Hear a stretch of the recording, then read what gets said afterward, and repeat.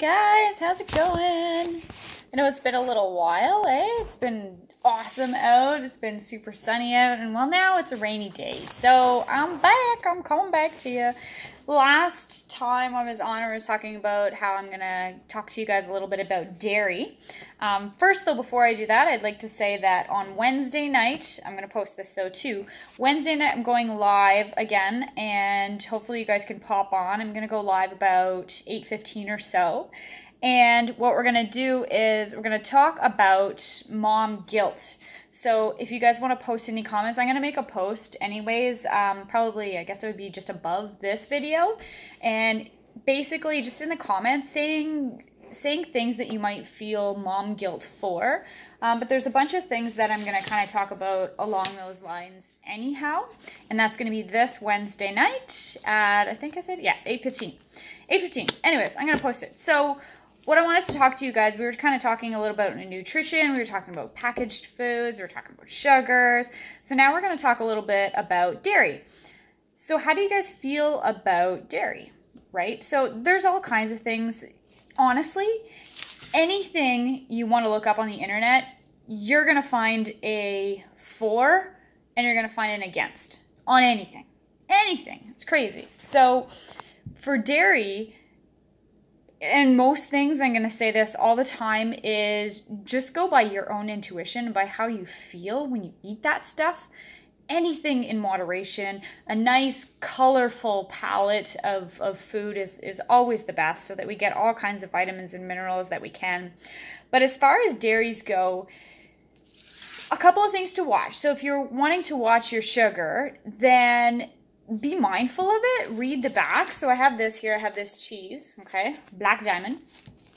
So when you look at it, a lot of dairies that say low fat basically means that they take the fat out, like they take the the better part or the, the more goodness of it out and then they replace it with like sugars, all kinds of sugars. So, and then remember when we, I had showed you guys all the different names for sugar as well. So that's what they tend to do with low fat stuff. I think it was in the 80s, I believe yeah, like around the time when I was little, there was this huge craze that fat makes you fat. So everything went low fat. Those sugar companies are freaking smart, man. Marketing, so they just put sugar in everywhere. Generally, when I buy dairy stuff, what I like to do is I like to look at the ingredients.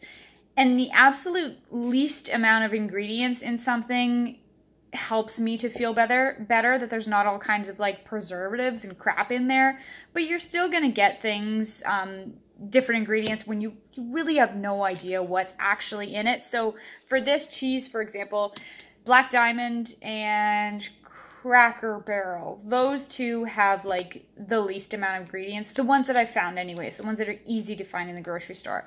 But this one here has milk, um, modified milk ingredients, cream, salt, bacterial culture. They're all going to have that, probiotics in there.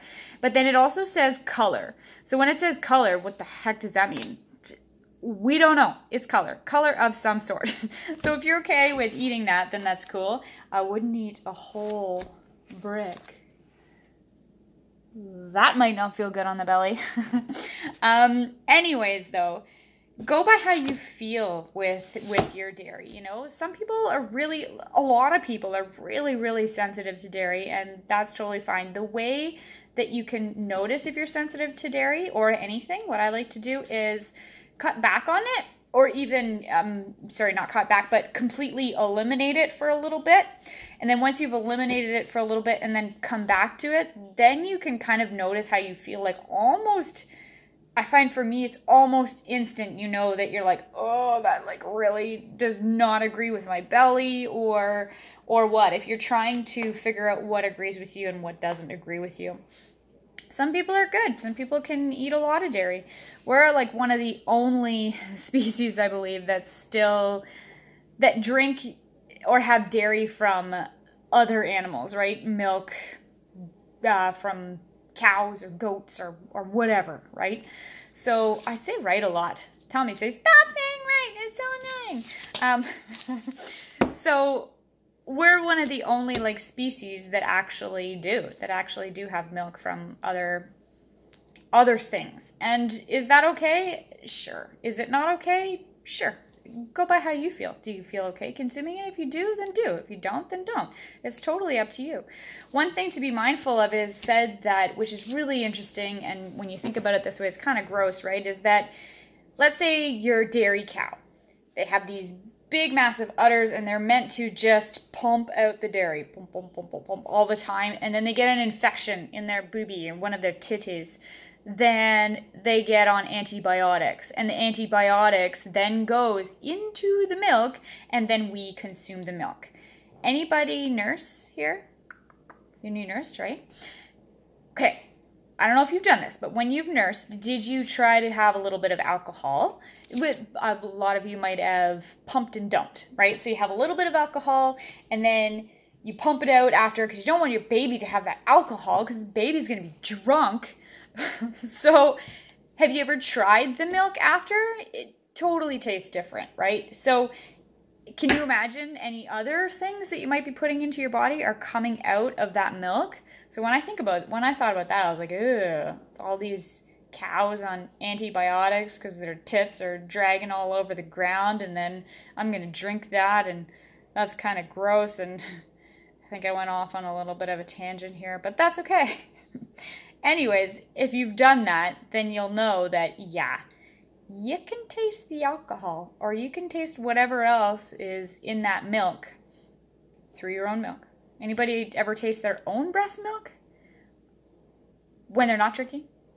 It's super sweet. It tastes like if you have cool, if you haven't and you think that's gross, cool, doesn't matter. I have.